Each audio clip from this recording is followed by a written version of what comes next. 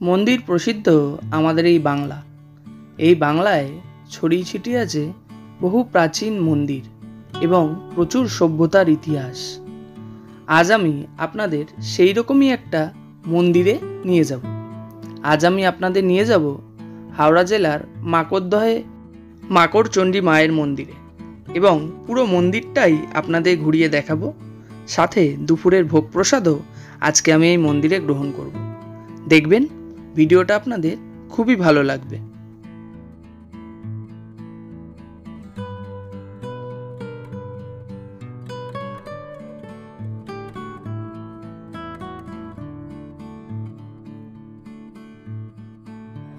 নমস্কার বন্ধুরা, আর একটা নতুন ভিডিওতে আপনাদের সবাইকে স্বাগত জানাই। আমি এখন দাঁড়িয়ে আছি মাকড়দহের মাকড়চণ্ডী মাতার মন্দিরের সামনেই। এই মন্দির খুবই কিন্তু প্রাচীন মন্দির। অপূর্ব সুন্দর এই জায়গাটা আজকে আমি আপনাদের ঘুরিয়ে দেখাবো। পুজো হচ্ছে, পিছনে কিন্তু আপনারা আওয়াজও শুনতে পাচ্ছেন। কটা থেকে কটা অবধি মন্দির খোলা থাকে, কীভাবে কীভাবে আসবেন, ভোগ প্রসাদের কী ব্যবস্থা আছে এবং মন্দিরের ইতিহাস মানে সম্পূর্ণ তথ্য এই ভিডিওর মাধ্যমে আপনাদের কাছে তুলে ধরার আমি চেষ্টা করব। তাই ভিডিওটা স্কিপ না করে অবশ্যই পুরোটা দেখবেন আর চ্যানেলে নতুন হলে অবশ্যই চ্যানেলটি সাবস্ক্রাইব করে আমার পাশে থাকবেন।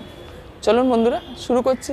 আর একটা নতুন ভিডিও আশা করি এই ভিডিওটাও আপনাদের খুবই ভালো লাগবে। চলুন ভিডিওটা তাহলে শুরু করা যাক। এই মাকড়দহের মাকড়চণ্ডী মাতার মন্দিরে আসতে হলে আপনাদের ট্রেনে করেও আপনারা আসতে পারবেন, কিংবা চাইলে বাসে করেও আসতে পারবেন। আমি দুই রকমভাবেই আপনাদের জানিয়ে দেব। ট্রেনে করে আসতে হলে হাওড়া থেকে আপনাদের আমতা লোকাল ধরতে হবে। একদম ফাঁকা থাকে এই রকম একটা ফাঁকা আমতা লোকাল ধরে আপনাদের চলে আসতে হবে মাকড়দহ স্টেশনে। দশ টাকা পার হেড আপনাদের ট্রেনে কিন্তু ভাড়া লাগবে।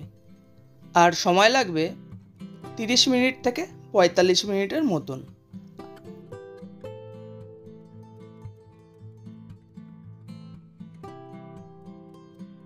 আর আপনাদের নেমে যেতে হবে মাকড়দহ স্টেশনে। এই মাকড়দহ স্টেশন থেকে বেরানোর জন্য একটাই রাস্তা আছে এই রাস্তা ধরে আপনাদের সোজা বাইরের দিকে নেমে চলে যেতে হবে। বাইরে গিয়ে আপনাদের পাঁচ মিনিট হেঁটে আপনাদের পৌঁছে যেতে হবে মেন রাস্তায়। সেখান থেকে আপনাদের টোটো কিন্তু ধরতে হবে। সেই রকমই আমরা মাকড়দহ স্টেশনে নেমে সেখান থেকে বেরিয়ে পায়ে হেঁটে এগিয়ে যেতে থাকলাম মেন রাস্তার দিকে। এটা হলো মাকড়দহ স্টেশনের আশেপাশের জায়গা দেখতে পাচ্ছেন। স্টেশনের পাশেই একটা মাঠ রয়েছে।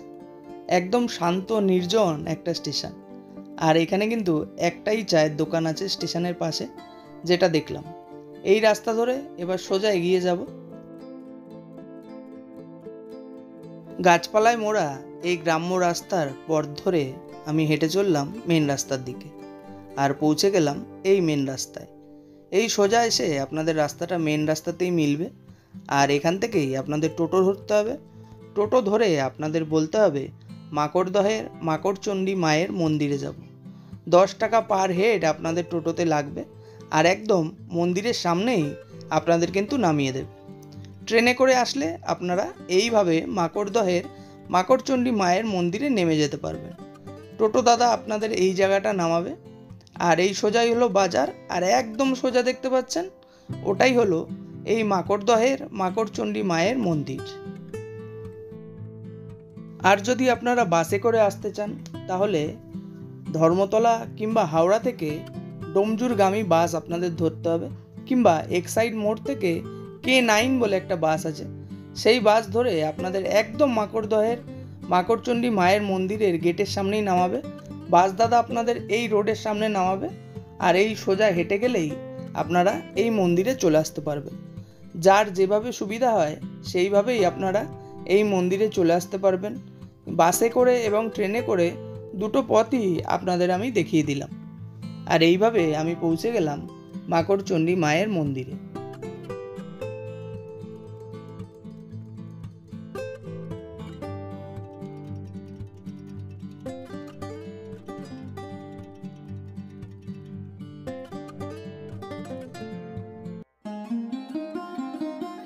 আমরা এখন চলে এসেছি মাকড়দহের মাকড়চণ্ডী মায়ের মন্দিরের একদম সামনে।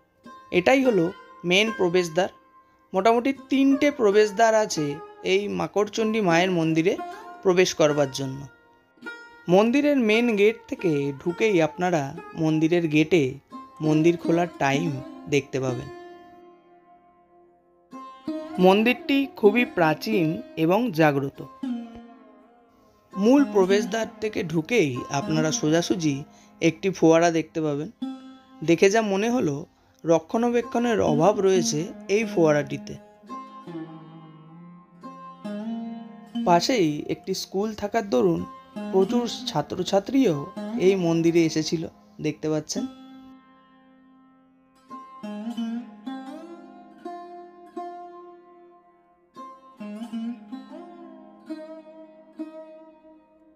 ফোয়ারা এবং নাট মন্দিরের সামনেই রয়েছে এই বলিকাঠ।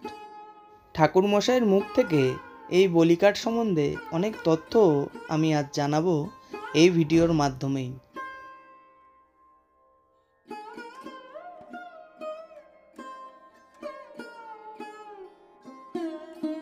মূল গেট থেকে প্রবেশ করেই ডান দিকে আপনারা এই মন্দিরের অফিস ঘর দেখতে পাবেন। অফিস ঘরের পাশে রয়েছে প্রচুর ফুল গাছ। সকালবেলা এই ফুল গাছ থেকে অনেক ফুল কিন্তু ঠাকুরের জন্য সংগ্রহ করা হয়।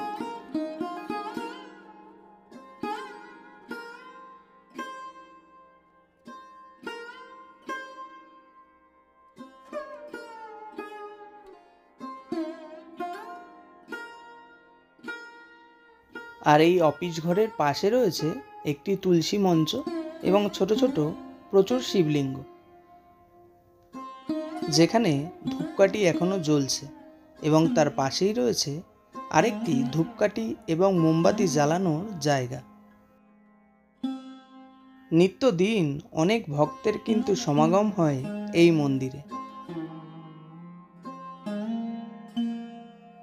আর তার পাশেই রয়েছে একটি শিব মন্দির। পাশের ছোট্ট সিঁড়ি থেকে আপনারা এই শিব মন্দিরে কিন্তু প্রবেশ করতে পারবেন।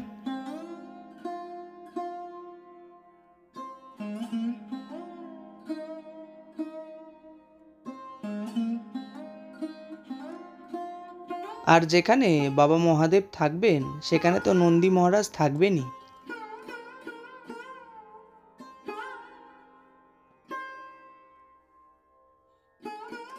এই মন্দিরটি কিন্তু আটচালা। এই আটচালা শিব মন্দিরের ভিতরে রয়েছে একটি শিবলিঙ্গ এবং তার নিচে রয়েছে নন্দী মহারাজ।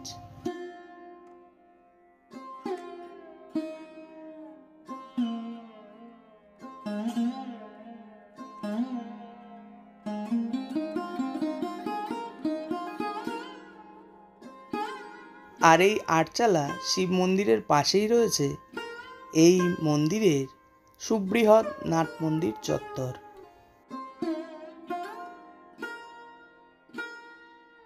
মূল দ্বারের বাম পাশেও কিছু ফুল গাছ লাগানো রয়েছে এবং আরেকটি ছোট্ট গেটও রয়েছে। বললাম না, টোটাল তিনটে গেট রয়েছে এই মাকড়চণ্ডী মায়ের মন্দিরে প্রবেশ করবার জন্য।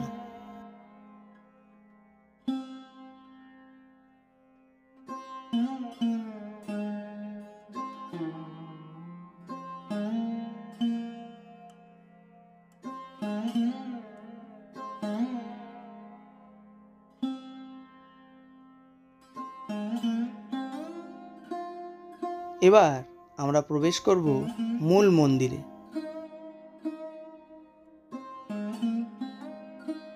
মূল মন্দিরে প্রবেশ করলেই আপনারা বুঝতে পারবেন মূল মন্দিরটি কিন্তু রক্ষণাবেক্ষণে পুষ্ট এবং মূল মন্দিরের পাশেই রয়েছে আরেকটি ধূপকাঠি এবং মোমবাতি জ্বালানোর জায়গা।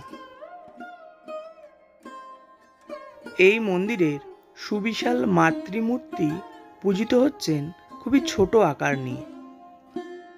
জানা যায়, গঙ্গা নদী উৎপত্তি হওয়ার কয়েক শত বছর আগের থেকে বইছে নদী সরস্বতী। এই সরস্বতী নদী ধরেই যাতায়াত করত বড় বড় জাহাজ এবং নৌকা। বহু বণিক সরস্বতী নদীপথে বাণিজ্য করতেন। এক বণিক স্বপ্নাদেশ পেয়ে সরস্বতী নদী তীরবর্তী পাতাল ফুঁড়ে ওঠা দেবীকে পুজো করেন। কয়েক শত বছর আগে সীমন্ত সওদাগর এই দেবী চণ্ডীমূর্তি পুজো প্রচলন শুরু করেন সরস্বতী নদী তীরবর্তী জঙ্গলে।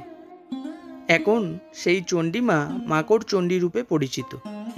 বর্তমান মন্দিরটি মহিয়ারির জমিদার রামকান্ত কুণ্ডু চৌধুরীর দ্বারা আঠারোশো একুশ সালে নির্মিত হয়েছিল। তিনি স্বপ্নাদেশ পেয়ে মায়ের মন্দির, শিব মন্দির নাট মন্দির এবং মায়ের ঘাট প্রতিষ্ঠা করেন। প্রায় পঞ্চাশ ফুট উঁচু এই মন্দিরটি উনিশশো আটষট্টি সালে বিড়লা ট্রাস্ট দ্বারা সংস্করণ করা হয়েছিল। এই মন্দিরে আসলে যেটা আপনারা এখন দেখতে পাবেন। কথিত আছে, এই হাওড়া জেলার মাকড়দহের মাকড়চণ্ডী মা অনেকটা লম্বা ছিল। সেই সময় যিনি পুজো করতেন, মায়ের লম্বা মূর্তির জন্য মালা পরাতে পারতেন না। তখন সেই কথাটি তিনি মাকে জানান যে, মা, আপনি এত উঁচু, আমার মালা পরাতে খুবই অসুবিধা হয়। তার কথা শুনে মা ক্রমশ মাটির মধ্যে প্রবেশ করতে শুরু করলেন। তখন সেই ব্রাহ্মণ মাকে জড়িয়ে ধরেন এবং মাকে পাতালে প্রবেশ করতে বাধা দেন। সেই কারণেই বর্তমানে আমরা মায়ের এই ছোট মূর্তিটি দেখতে পাই। এই মন্দিরে একখণ্ড গোলাকার পাথরকেই দেবীরূপে কল্পনা করা হয়। কার্তিক মাসে কালী পুজোও হয় এই মন্দিরে। মাঝরাতে পুজো, ভোগের ব্যবস্থা সবই থাকে ওই দিনে। মন্দির সেজে ওঠে, খুব সুন্দর আলোকসজ্জায়। এই উৎসব উপলক্ষে স্থানীয় মানুষরা বাজি পুরনোয় মেতে ওঠেন। শোনা যায়, এই মায়ের পুজোর ঢাকের আওয়াজ যত দূর অবধি পৌঁছাতো তত দূর কোনো পুজো হতো না। কালের নিয়মে ধীরে ধীরে সেই নিয়মও বদল হয়ে গিয়েছে। তবে এখনও যারা আশেপাশে দুর্গাপুজো এবং কালী পুজো করেন, তারা মন্দির থেকে, মায়ের কাছ থেকে অনুমতি নিয়ে যান।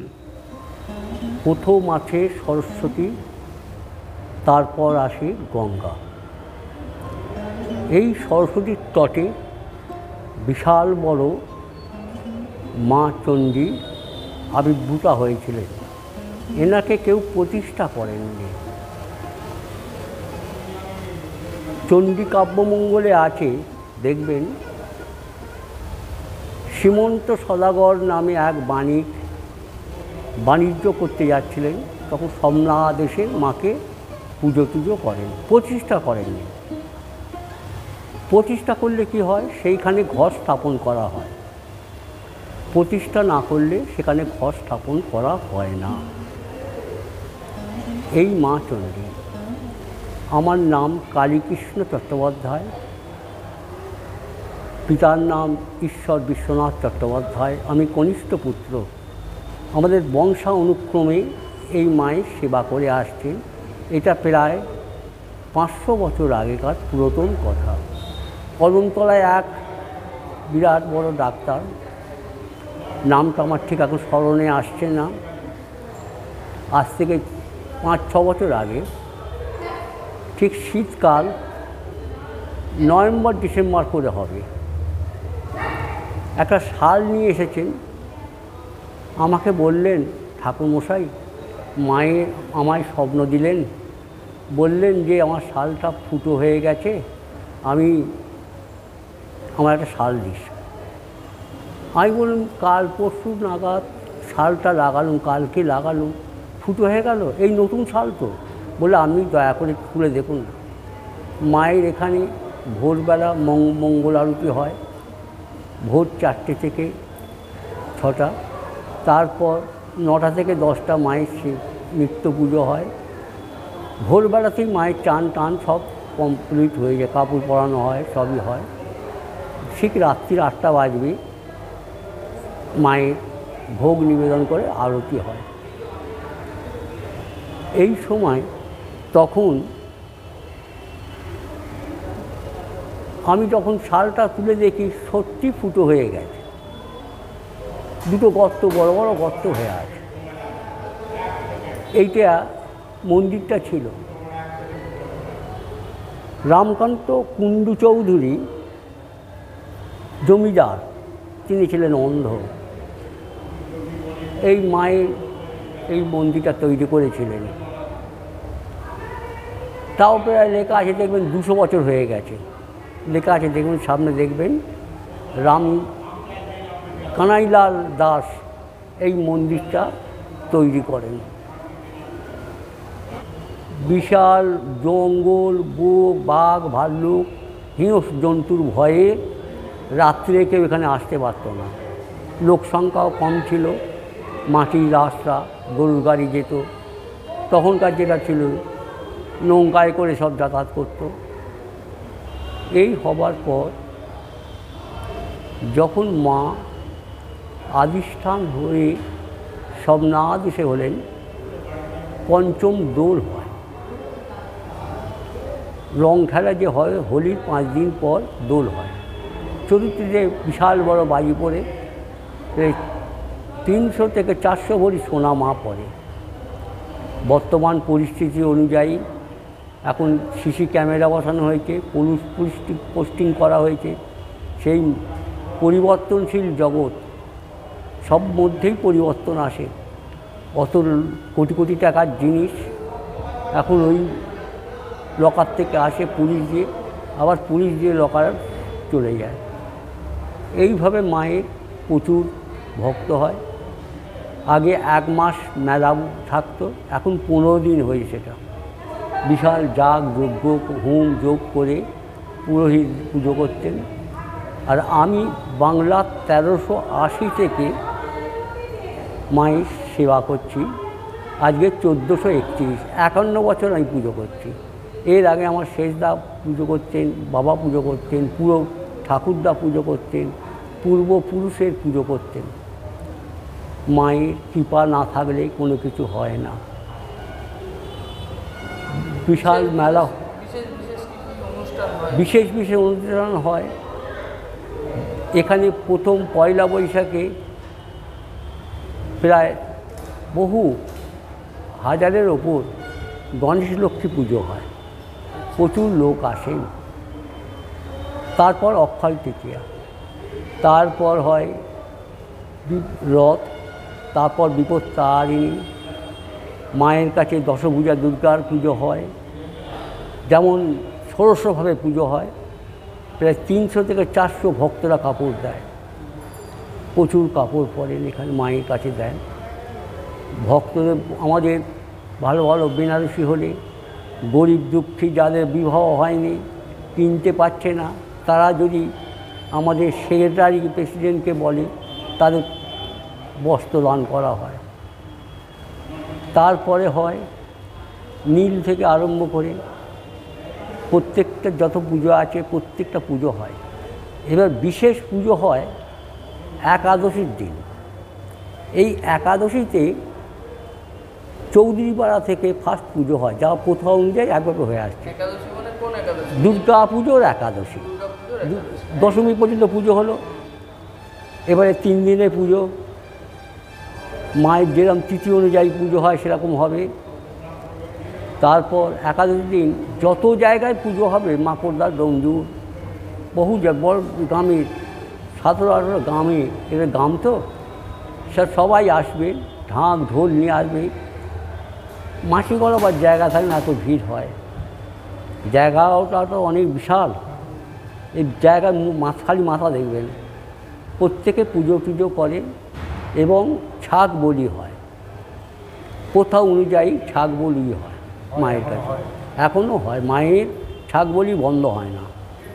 ছাগ বলি কী বলি হয়? ওটা কাম বলি দেওয়া হয়। এইভাবে মায়ের প্রতি বছর একভাবে সেই পাঁচশো বছর যা নিয়ম সেই প্রথা অনুযায়ী এখনও পর্যন্ত মায়ের সেবা হয়ে আসছে। কি নিত্যদিন খোলা নিত্যদিন ভোর চার চারটের সময় খোলা হয়। তারপরে নটায় পুজো হয়। তারপরে হবে বারোটায় ভোগ হবে ঠিক বারোটা বাজবে দেখুন দশ মিনিট বাকি আছে বারোটা বাজবে ভোগ হবে। তারপরে তোমার ভোগের পর ঠিক সাড়ে বারোটা বাজে বন্ধ হয়ে যাবে। একটা হ্যাঁ দরজা বন্ধ করে মায়ের সেবা হবে ভোগ হবে। আরতি হয় না নিত্য পুজো তো? অকেশানে আরতি হয়। যেমন দুর্গা পুজো রক্ষা কালী পুজো এরম পুজো হয় রথেই যে পুজো হয় আরতি হয়। সেটা হয় ষোড়শভাবে। আর এটা দশভোজারে পুজো হয়। নিত্য ভোগ হয়। আরতি খালি সেই রাত্রির আটটার সময় হবে। শয়ন আরতি হয়। স্বয়ন আরতি রাত্রি আটটায় হয়। যেভাবে আগে হয়ে আসছে এখন তাই হয়েছে আচ্ছা বিকালে আবার খোলে? বিকাল ঠিক চারটের সময় খোলা হয়। মায়ের মন্দির ঠিক আচ্ছা, চারটে তো ভোগ প্রসাদের ব্যবস্থা আছে। হ্যাঁ ভোগ প্রসাদের আস- ব্যবস্থা আছে। যে ভোগ প্রসাদ নিরামিষ ষাট টাকা ওখানে লেখা আছে দেখবেন। আর মাছ দিয়ে খেতে গেলে কোনো ভক্তের কাছ থেকে যেমন যার মাছের দাম ভালো মাছ দিতে গেলে ইলিশ মাছ দেয় বা কোনো কিছু ভালো ভেটকি মাছ বা পাম্পলেট মাছ দেয় তখন একশো টাকা নেয় পোনা মাছ হলে আশি টাকা নেয়। মায়ের এইভাবে নিত্য পুজো চলে আসে আচ্ছা খুব দূর থেকে যদি কেউ আসে এখানে কি থাকার ব্যবস্থা আছে? থাকার ব্যবস্থা বলতে গেলে কি এখানে এখন তৈরি হচ্ছে এখনও ঠিক কমপ্লিট হয়নি। পেছনে থাকার ব্যবস্থা হচ্ছে। এখন নেই বলাই চলে কেন এখন এই সিদ্ধান্ত নিচ্ছে যাতে থাকতে পারে। এইগুলো তো আপনি বললেন দুপুরে ভোগ প্রসাদ এগুলো তো প্রসাদের মূল্য আপনি বললেন। এমন কোনো দিন আছে যে বিশেষ অনুষ্ঠান ওই দিন বিনামূল্যে ভক্তদের হ্যাঁ সেটা হয় একটা দিনই হয়। না। আচ্ছা। চাঁচরের দিন পর যে অন্নক্ষেত্র বলে উল্লেখ করেছি অন্নক্ষেত্রের দিন। লক্ষাধিক লোক এখানে সেবা করে। হয় সেটা হচ্ছে রং খেলার অনেক সময় ফাল্গুন মাসে পড়ে অনেক সময় চৈত্র মাসে হয় রং খেলার হোলি যে হয় হোলির পাঁচ দিন পর এখানে পঞ্চম দোল হয়। হয়। হ্যাঁ আবার পাঁচ দিন পর অন্নক্ষেত্র হয়। সেই অন্নক্ষেত্রে প্রচুর লোক সেবা করে। ভোগ নিয়ে নিয়ে যাওয়ারও ব্যবস্থা আছে। কন্টেনার আছে কমিটির কন্টেনার সুষ্ঠুভাবে সব দেয়। প্রচুর পুলিশ গার্ড থাকে প্রচুর ব্যবস্থা থাকে। আমি ওই যে বাজারটা দেখলেন বাজার সব সেদিন আর বসে না। পনেরোশো দিন বসে না সব দোল বল দোল হয়। ঘোড়ার দোলা নারকল দোলা নানা রকম জিনিস বিক্রি হয় বাচ্চাদের কানে টানে মেয়েদের এইসব প্রচুর দোকান বসে। এবার আমি ভোগের টাইম হয়ে গেছে মায়ের সেবা হয়ে গেছে। হ্যাঁ, হ্যাঁ। মূল মন্দিরের একদম অপর দিকেই রয়েছে সুবিশাল নাট মন্দির।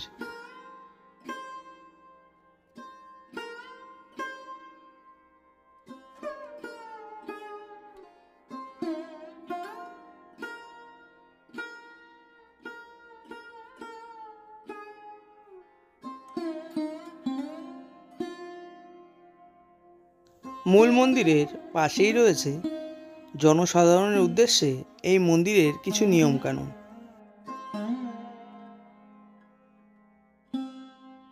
অন্নপ্রাশন, উপনয়ন, বিবাহ, শ্রাদ্ধানুষ্ঠান, বিভিন্ন পুজোরও এখানে কিন্তু আয়োজন করা হয়।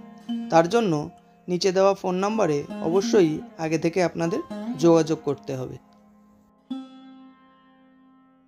এখানে কিন্তু গাড়ি পুজোরও ব্যবস্থা রয়েছে। আর তার পাশেই রয়েছে এই মন্দিরের ভোগঘর।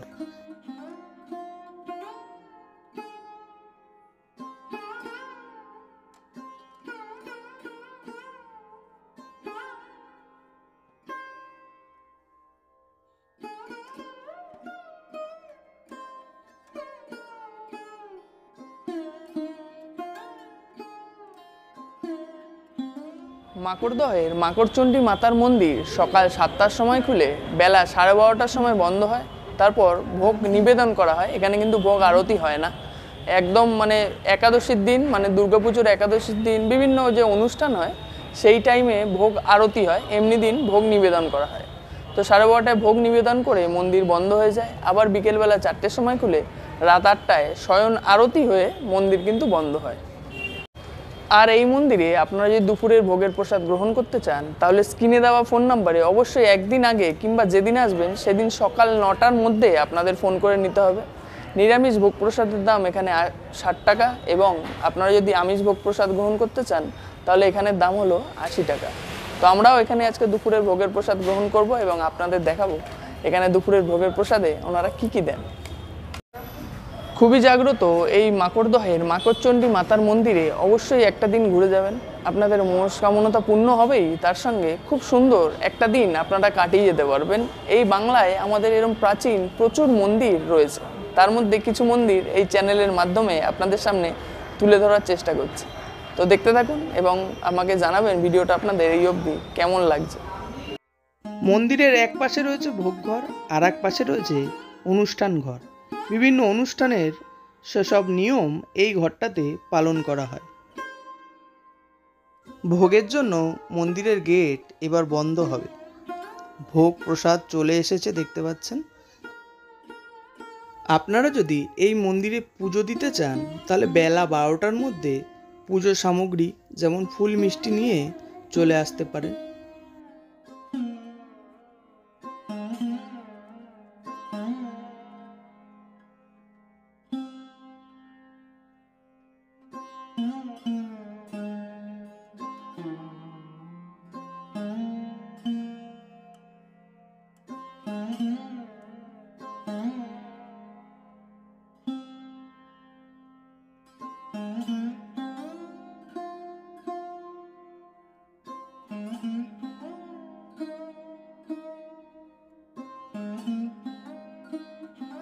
মন্দিরের ভোগ নিবেদন হচ্ছে এখন। চলুন, আপনাদের মন্দিরের একদম পিছনটা ঘুরিয়ে নিয়ে আসি।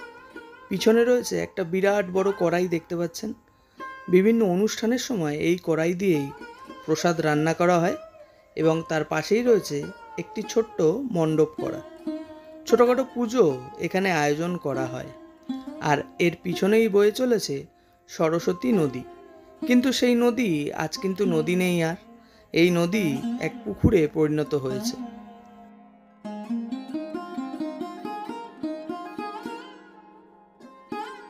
আর তার পাশেই রয়েছে ছোট্ট এক শিব মন্দির, গাছের নিচে। দেখতেই পাচ্ছেন?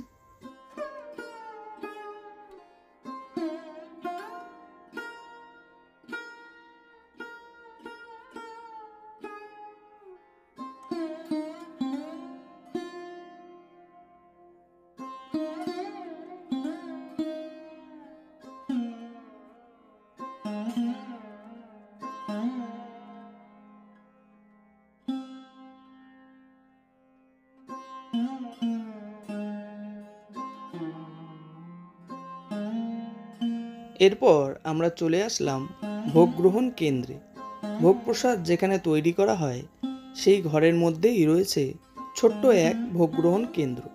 চলুন, দেখাচ্ছি আপনাদের।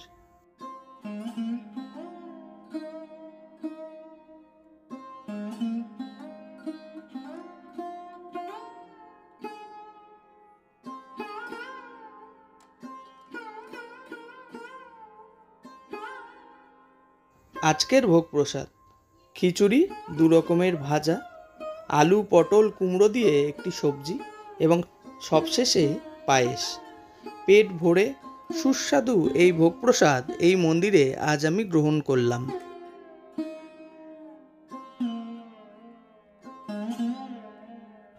তো বন্ধুরা, যেমনটা দেখলেন, আমরা মাকড়দহের, মাকড়চণ্ডী মাতার মন্দিরে আজকে দুপুরের ভোগ প্রসাদ গ্রহণ করলাম। ভোগের প্রসাদে এনারা কী কী দিলেন, সেটা তো আপনাদের দেখালামই।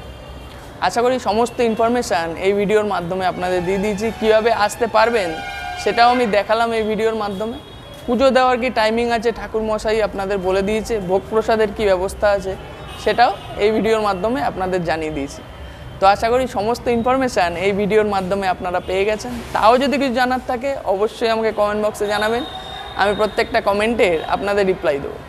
আরও যদি কোনো যদি কোনো নতুন মন্দিরের সন্ধান আপনারা দিতে চান, তাও আমাকে কমেন্ট বক্সে জানাতে পারেন, কিংবা ইনস্টাগ্রামেও জানাতে পারেন। ইনস্টাগ্রামের লিঙ্ক আমি ডেসক্রিপশন বক্সে দিয়ে রাখছি। তো বন্ধুরা, দেখা হবে আপনাদের সঙ্গে আবার পরবর্তী ভিডিও অন্য কোনো জায়গায়। ততদিন সুস্থ থাকবেন, নিরাপদে থাকবেন এবং ঘুরতে থাকবেন। মাকড়দয়ের মাকড়চণ্ডী মাতার মন্দির থেকে আমি জয়ন্ত, টাটা।